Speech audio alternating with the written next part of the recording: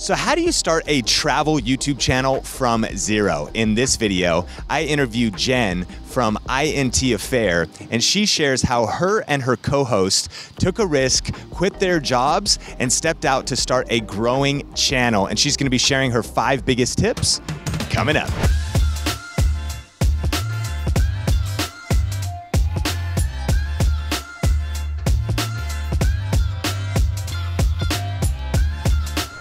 This video is brought to you by LearnVideo.live, a free one hour online training on how to grow a highly influential and profitable YouTube channel this year. To get free access, just go to LearnVideo.live.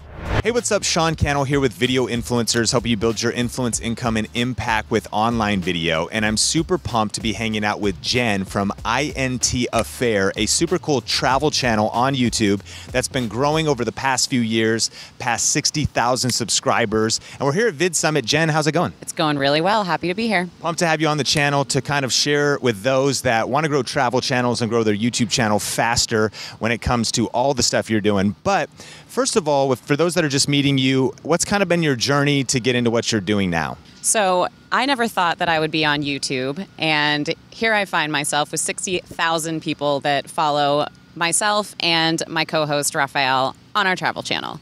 But long story short, how we got into it is that we met as coworkers. We both come from a travel background. We ended up on a reality TV show. And then we decided to quit our jobs and travel the world like so many other people have. We quit. So we bought some cameras, we self taught ourselves everything, and it was a little bumpy at the beginning, but now we feel very good about it. Man, that's amazing. And things have been growing, and you guys have a lot of cool stuff happening on your channel. And you got five tips for us here. And so the first one is be authentic and be different. And for you, that means like no BS. So break that down. Yeah, so we really try to focus on no BS travel. And what that means is when you come to our channel, we're going to tell you the answers that you're looking for. So we try to put ourselves in your shoes. If it's your first time to Thailand, your first time to Bali, what is everything you could possibly need to know? And yeah, we do have cinematic shots, but our main goal is to help you and help a fellow traveler get to where they're going and to understand a country culturally, through the food, transportation, all of that. I love that. And, you know, sometimes, you, you know, travel channels kind of have this thing of it's super polished and these amazing drone shots and it can look one way, but you guys have kind of taken a different approach. We definitely have those drone shots, and we do love showcasing a destination like that. But our main, main focus is always the actual content, what we're talking about, and what we're relaying in our video. And so we try to make it really not about us, and about the viewer. I love it. And so, tip number two then is to stand out and grow, you want to find a gap. What do you mean by that? So, by finding a gap, so regardless of what type of channel you want to start, you want to definitely do your homework and your research and see what other people are doing. There's going to be a lot of channels that are the same, and I personally think that it's really important to find, you know, what's your niche? What is it that you can do that's different and authentic, um, which kind of ties back into the number one. But you need to be able to stand out and just be different. So a lot of that ties into being yourself. But if you can find an area, whether it's, you know, you break down costs or you really explain something in detail, that could be be your niche. Yeah, I love that. And uh, tip number three is be relentless and disciplined. And this kind of goes into, you know, a lot of those watching might be like overwhelmed with well, how do I get the camera stuff and how do I learn how to use the camera stuff and how do I learn how to do thumbnails and titles? What was that process for you? It's a big learning curve. So if you go over to INT Affairs channel and you go to some of our first videos, they're a little rough. And I think it's important. It's it's everyone starts somewhere, and you know, Raphael and I taught ourselves how to edit, how to use cameras, how to do everything. And if you want it bad enough, you'll stick to it and you'll keep trying, and your editing will get better, and your camera presence will get better. It's just you have to want it and you have to stick to it. Tip number four is make it about the viewer. And we actually had Gary Vee on our channel recently, and he said because 90% of people are putting out selfish content. Like it's all about them, and they want you to watch what they're doing, what they want to do. So this tip of like really becoming viewer centric is massive if you want to get more views, get more subscribers. And so, where do you guys come in that approach? So, we always try to make it about the viewer. Um, I kind of touched on it in the beginning. we treat every travel video as if it's someone who maybe has never been on a plane. They've maybe they've never left their house. We try to break it down as simple as possible for the experienced traveler and the beginner traveler.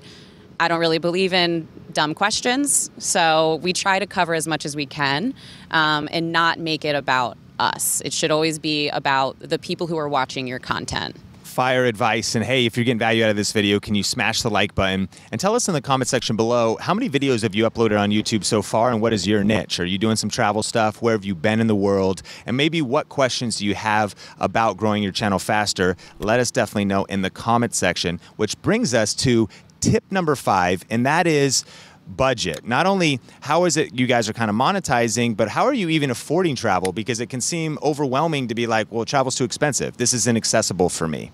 Right. And uh, there's no lie that travel is a luxury activity. A lot of people are not blessed to be able to explore the world, but a huge misconception is that travel is too expensive for you. You know, you can go and see places and make it what you want it to be, but maybe you have to make sacrifices. So it's learning to say no to hanging out with friends at home and knowing that that money is going to go towards a trip. And also, you know, maybe you don't stay in a five star resort. You know, you stay in the budget hotel, you stay in a hostel, and you know you make sacrifices along the way just to experience cultures and destinations and that is my biggest advice to making a travel channel possible is making sacrifices to get to that final destination super super powerful and uh, if people want to check out more of what you're doing, where can they find you on maybe uh, social media as well as your YouTube channel? And we'll link it up on the YouTube card. Yeah, so our YouTube channel, it's uh, I'm the co-host and the better half of INT Affair. Just kidding. So it's myself and Raphael, and we are at INT Affair. It's a play on International Affair. We're on YouTube, Instagram, and Facebook. Super powerful. And I also just want to acknowledge you. It's super inspiring. We're here talking about the Travel Channel, but connecting at this event, Vid Summit, uh, I also learned that you just got first place in the San Diego Marathon. So you're like this rock star runner. Congratulations and uh, all of your hard work. And thank you for, you know, showing that it's possible to follow your dreams, to step out there, to do creative things. Can you just give one final word of encouragement to our community? Obviously, you're an entrepreneur, a doer, someone that has punched fear in the face, punched perfectionism them in the face and press record. Just some final words to encourage those at different stages of their journey to keep going. Sure. So this actually crosses over in all aspects of my life running, traveling, friends, family, relationships. So if you really want something and you want to go for it, you need to have tunnel vision and stick to it. And really, when it all boils down to it, the only person that you really need believing in yourself is you and forget all the other external voices and just keep trucking along. You're going to fall down, but keep moving forward and you'll you'll get there. Jen, thank you so much and we will see you in the next video.